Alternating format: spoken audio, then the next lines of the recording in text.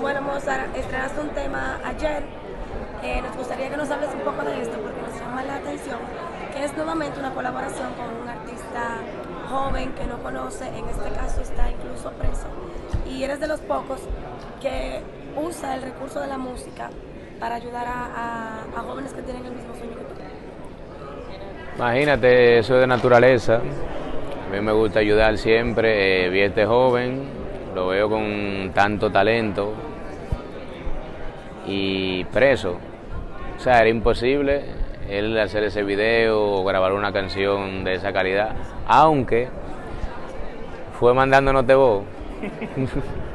fue mandando nota de voz, buscamos un ingeniero de sonido en Miami, mandé a hacer la pista, pedí un permiso eh, en la Victoria y ya ahí está la canción, un tema de corte social, de superación eh, y que la gente se identifica. O sea, después de tu contrato con Rock Nation, estamos esperando con ansia ya ese nuevo disco. ¿Cuándo sale y qué vamos a esperar? Sale este año. No te voy a dar una fecha específica porque a veces hay cambios y no quiero quedar mal, pero este año sale. Pero el próximo tema que vas a lanzar de Rock Nation, o sea, ya. No, no, próximo tema no, ya, ya el disco completo. Pero Antes de la producción van a salir cuatro canciones, cuatro. Como, como para foguear, ¿entiendes? Como una tras de otra, pam, pam, pam. Y luego viene el disco. Eh, colaboraciones, Bueno, en el disco tengo colaboraciones con Osuna, con Nicky Jam, Kazoo, Akon, Kim Mani Marlin. Hay mucha colaboración. podemos esperar ver al Mozart ese de calle que estuvo en un momento tipo Snoop- eh, número uno Snoop Dogg o a ese Mozart nuevo que canta canciones como Levántate, que muchos dicen que son canciones para niños. Ahí hay de todo. Y esas canciones que yo hago no son para niños.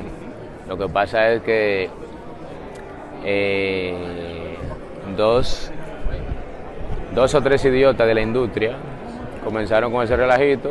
Tú sabes que el idiota, el otro idiota también se lo cree, pero ninguno entra en donde yo entro. Anoche, por ejemplo, yo estaba tocando en el Country Club, una fiesta privada, bien paga. Entonces me siguen mucha gente mayores que dicen, escucho el género por ti. Simplemente yo estoy en todas las clases sociales, en todas las edades. No es que yo hago música para niños, porque si no yo estuviera cantando en el club de Icha. ¿Qué has hecho tú de diferente a, tus colegas que han contado con ese éxito? No, hacer lo que me gusta, hacer lo que yo crea, creer en mí simplemente. ¿Qué es lo que tú crees? Bueno, que así es que se deben de hacer las cosas y eso es lo que me funciona. ¿Qué- ¿Cuál ha sido ese ingrediente de esa fórmula que tú has implementado? Sopita con salsa. Vamos, en un momento se habló el año pasado de que venía con un concierto en solitario este año en Quisqueya. ¿Qué hay de cierto en eso? Si tienes todavía la intención de hacerlo.